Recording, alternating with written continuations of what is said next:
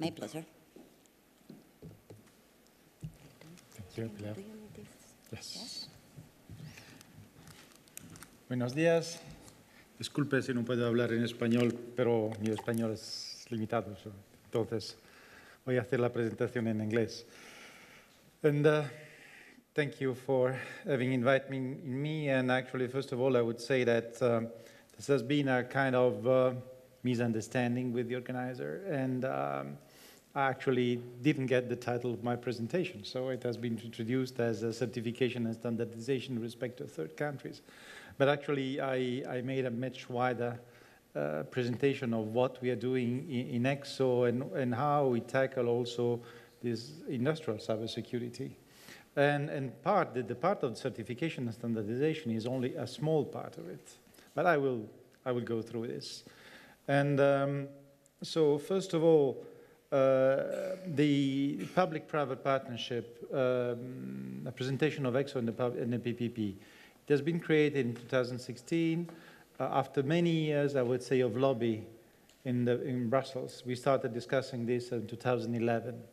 What we can do, we were seeing that uh, IT security in general was, was moving, is coming up and was important, so we had a number of uh, activities with the Commission and then uh, say, okay, you have to set it up, but you don't have, you have to set it up this PPP, which is uh, the approach of the Commission focused on research, first of all. So we're going to give you some millions uh, for research, uh, but you have to put together everybody, every, and when I mean everybody, I really means everybody. Uh, and and uh, you have to create an association and, and, um, and prepare priorities for research for the coming years. This is what happened. Actually, it took us uh, kind of um, four months instead of the usual one or two years to set up the organization. And um, we said, okay, we, we got the agreement with the Commission, 450 million on the correction side for research in four years, and on the private side, three times more. This is the, the agreement we got. But ECSO, it's, uh, it's much more than the usual PPP the Commission is setting up. It's, it's, a, it's a public-private partnership per se. The partnership usually is the Commission, Commission and industry. ECSO is already a public-private partnership because we have inside public administration. Public administration coming from uh, the national public administration, like in, in, in Spain, we have three ministries which are part of our organization, they are even at the board of directors. But also, uh, we have regions, uh, like uh, Guipúzcoa, like the Basque countries, Castilla y León in Spain. And, uh, and, and they are active cooperating with us, actively cooperating with us because at the end is not what happens in Brussels, which is important, is what happens locally, regionally, nationally. Because security, cybersecurity is a national prerogative, both as a national security and also in field like education. Education, each country decide how to deal with education. And we saw, also John said, and others, and, and also I said that education is key today, but it's decided at national level, not in Brussels. So that's the reason why we, we have a special kind of PPP with respect to what Brussels is doing usually. We have public administration inside, at the board of director level, as I said, but also experts, sending experts in our working group, which are working together with us. And this is fundamental because what is coming out from our work is not something uh, that's simply coming from the private sector, from industry. We would like to go to the moon, to Mars, or whatever. It's something that is already what I say, usually to say, is pre-digested. So it's something which is pre-digested in the sense that what is coming out is not a lobby, but it's already a piece of recommendation which can be already be discussed at political level by countries, by the countries or European institutions. So it's much easier to be implemented. It's not just a dream of industry or whatever. Today, we are around 236 organizations from 29 countries. You saw, you saw it. Spain actually is the leading country, yeah? so with 32 members, and uh, including, as I said, uh, the, um, the, the, the regional aspect. And actually, I have to say, I would like to come back on the regional aspect because when we started the idea of setting up this PPP in uh, January 2016, um, I've been approached by Brittany. Brittany is another uh, European region, which somehow, like the Basque countries, is very proud, very specific in their approach. They have somehow also their own language. And, um, and, they said, we want to be member of ECSO. I was surprised. But then immediately I realized that this is the right approach. Because, as I said before, what is happened locally, what has happened regionally is the reality, is the real market, not what is decided or uh, happening in Brussels. And on top of that, also you have European regional funds and you have a lot of support. So this is, the regional approach is very, very important. So for this reason, we gave a specific, we set up a specific working group for regions. This is the governance of ECSO. Uh, it's complex because cybersecurity is complex. And also because, on request from our members, we have to be global, comprehensive of all different aspects. So in the bottom, you see the different kind of uh, categories of members. We have the SMEs, uh, the financing bodies, the large companies or the associations. We have the regional, as I said, the regional bodies, uh, the public or private user and operators, we have national public authorities. These are more the legislation and regulation side. And the, and the research centers, centers and universities. All these are working in six different working groups. One is on uh, research, which is the initial part. This is the, the number six. Then we have a, working group specific on education, training, and awareness. Another one on SME and regions, because we wanted, we have seen there is strong interaction between SMEs and activities in the regions. We have the verticals, the sectoral demand on the different area, Industry 4.0, the first one, which is of particular of interest today, but also energy, transport, finance, e-government, health, smart uh, cities, and telecom and media. We have the number two, the working group two on investment and international cooperation, and one on standardization and certification. One word on this point, on this working group, as it was supposed to be the title of my intervention. Um, the Commission asked us to look in particular not only on research when we started, but also on certification, because you know that September of last year, the Commission issued a communication on the Cybersecurity Act, which is dealing with the renewal of ENISA, the European uh, Agency uh, for Network Information Security, and on the certification. Certification, they wanted to, uh, to create a European framework on certification because each country have different approach. Some are more mature, some are, some are not dealing at all, simply relying on third countries.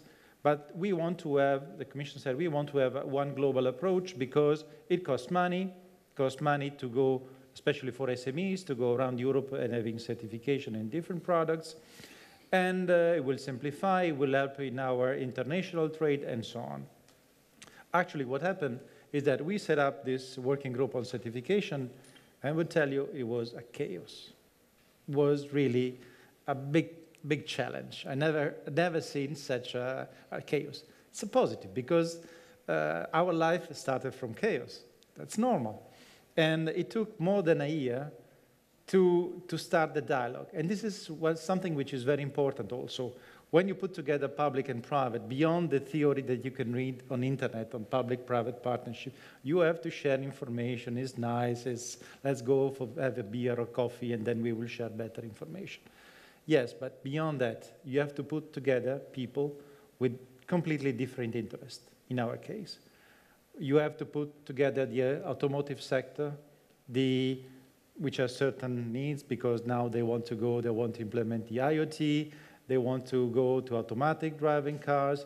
You have to put together, for instance, the, the uh, plane manufacturer like Airbus or the defense sector or the health sector, and all have different point of view and needs and level of maturity.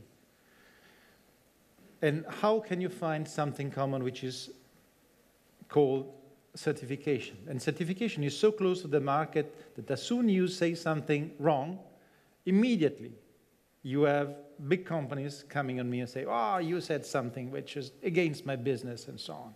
So that was the first challenge. On top of that, you have the public administration. I've learned, I'm actually representing also now public administration, as I said. I have to be very careful in what I say. I, I would have liked to be politically non-correct as you, and I could say more. But I'm actually, when I'm giving a speech today, I have to, be, I have to think, I have public administration behind me of very strong country because we have also UK, Spain, France, Italy, Germany, and so on, and you name them up down to Estonia, which I member. And, and, and, we have certain requirements because for them certification is very much linked to national sovereignty.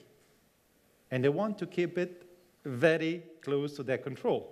So that's another part of the story. So when you put all this together, we created a base la layer, let's say at the European level, but then we have to build up, we have, we, we have built up now, we are building actually, now sectoral views, because each sector, as, as I said, a different level of maturity, different requirements. Sometimes you need to go for uh, certification, strong certification, third-party certification, sometimes self-assessment. But it depends on the impact.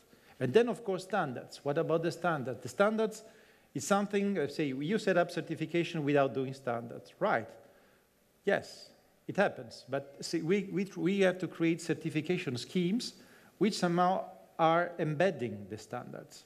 And creating a standards, you know, takes years. And how much it takes to create Uh, a zero-day exploit. Zero day. In a, well, that's what the time you see. So we are certifying today with respect to the knowledge we have today of the threat. But tomorrow the threat is different. And how much this will impact on standards, how much it will impact on certification. This is a big question. That's, that's the reason why sometimes I start my speech with, with Socrates, say, I know, all I know is that I know nothing. Because things are changing so quickly. That's in cybersecurity, that's a real challenge. So standards is nice, certification is nice, but we have to consider that we have to have the target is moving and also our system should be, uh, uh, uh, should be capable to, of being flexible and, and being upgraded easily. So this is general view. You will see a lot of slides. I will leave the slides. Don't uh, learn from my way of writing slides because it's against all uh, criteria that are usually taught. But you will see, I will pick up a few, few words here and there. This is where we started in 2016. We have recognized a number of cybersecurity challenges for the industrial, for industry in Europe, where we say the market is fragmented, we have a lot of uh, external suppliers, we, are, uh, there is, we have seen the digitalization of the society of the European industry coming up, and by the way, those who are telling you they know where to go with digitalization, they lie because nobody knows where we will be tomorrow. With the introduction of IoT or industrial IoT, it will be a big, big problem we don't realize today, how big it is. It will be. So, uh, and then on top of that, there is a big problem of awareness, of, of understanding uh, of the investment. We lack in Europe of entrepreneurial culture. Uh, we lack of venture capital. We, we have a lot of technology startups. I was three weeks ago in San Francisco, the, the biggest show uh, at the world, 50,000 people, 50,000 people, can imagine, uh, going at this show. It's a marketing, but the technology level somehow and the messages are very similar to what we have in Europe. Simply they sell it very much better and they get investment. That's the reason also why European com uh, companies are going there, because they find the way investors, and we still don't find it. And then also, so for this reason, what are the, the objectives? Okay, objectives is first of all, we have to protect infrastructure. We have to use data collection, and artificial intelligence will help us. We want to have stronger digital autonomy in Europe. We don't have to be completely dependent, especially when we go for national security with uh, external technology that uh, sometimes are not sufficiently trusted. Uh, we need to be more competitive. We really have to be more incentives for, uh, um, in public-private cooperation, support the SMEs, and as I said before, also the leverage on the competence and development at local, region, and national level and of course, develop education, training, and awareness. Where we are today, well, I would say we are still fragmented. We have started in two years a dialogue. This is important. Now, like in, like in certification, we have started this dialogue which allow us to understand better each other, find some common ground, and start building up some concrete steps, concrete objective. What we do is not only blah blah, shouldn't be blah blah, is not only political message, we should go for something concrete.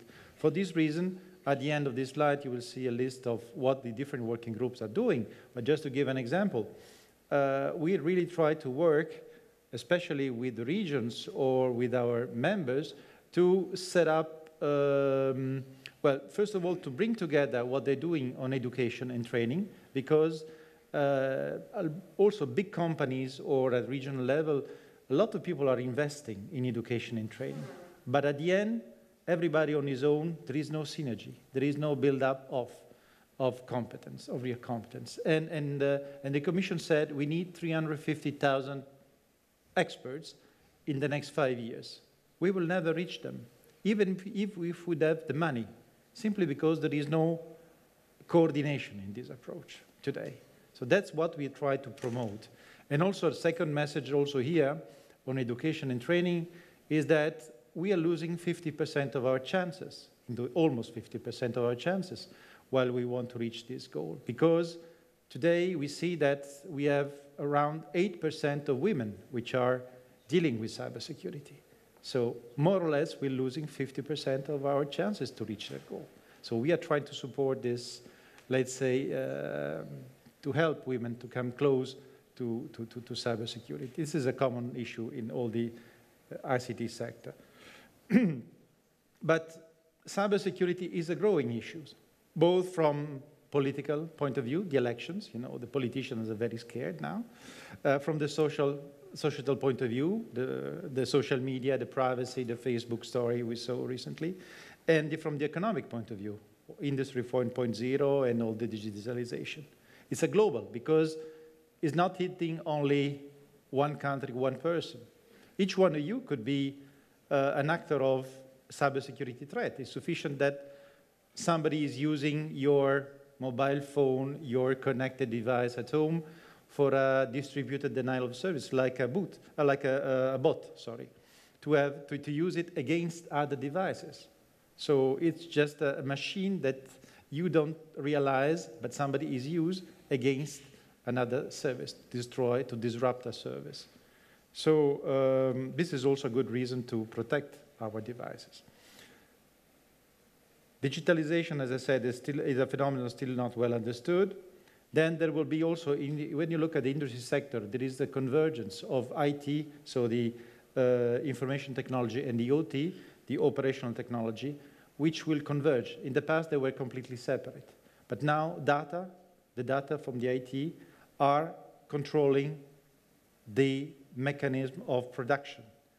And more and more, they're no more separate, so they have to work together. And this should be looked in more detail in the future because there is, they could create vulnerability, but also could reduce cost for the overall um, organization in, the, in, in an industry. So risk management is still a challenge, not sufficiently well followed.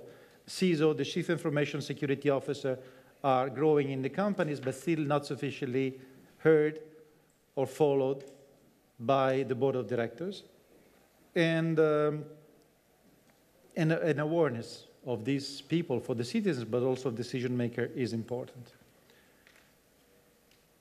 I see my time is, is coming close to the end, so I would say we are now in a period, a very important period in Europe, where we are moving from uh, very fast from a, um, from a first step of this European cybersecurity approach to what will be the next approach for Europe in cybersecurity, which will be an approach where we will have money. Europe is, has just proposed a budget for the period 2021-2027, not as big as we wanted, but much larger than in the past. Cybersecurity is now on top of the priorities for the European Commission. And uh, there will be money for, more money for research, more money for supporting training, there will be more money for investment in, in the different infrastructure, but be they critical or simply at manufacturing level. So this is what we are discussing to these days and what will be, and this budget will be approved in May 2019. There will be also an evolution likely of our organization of ECSO, because we want to build up from 2021 with you, this new uh, budgetary period for the Commission, uh, a wider, what we call an enhanced PPP. A PPP which is uh, not only as we're doing today, looking uh, at certain aspects of the market, developing the market, but really in agreement with the Commission to go beyond research and really tackling with all of us in a more, uh, the real development of the European ecosystem. We are doing it somehow informally with ECSO, but tomorrow, that's what we want to do with the Commission, with the support, economic support, with the European Parliament, and with all the stakeholders. So for this, you will find in the slides, we have a definition of cybersecurity. We have a vision until 2027, where we want to be, we want Europe to become a leader in cybersecurity. We give a number of objectives. This is our timeline already from the present, the short term, the medium term, and the future. As I said, the future is really to build up a structured, uh, a, new, a new enhanced governance with more money. This is the proposal from the Commission for more money. All in all, is if the detail will come up in uh, mid of June. I think the evaluation today is that we will have, the Commission will put on the table something like 500, 600 million euro per year on cybersecurity, which is very small with respect to what the US are giving but uh, it's a beginning. And also with this money, we want to leverage the private investment, which is still lacking in Europe. And this would be possible, especially when the private will realize that they have to invest on to secure the business, to secure the industry, and to secure the society, also the public sector. So this is the Digital European Program. This is the link where we have all the working group which are we have set up and where the, the working group three with the sectoral demand is really the one who is setting the needs for certification standardization, for the support to the, uh, to the SMEs, for the training, for the research and so on. And Industry 4.0 is one of them. And then you will find the details, all the activity of the different working groups, what has been done until now, and the objectives for the future. Thank you.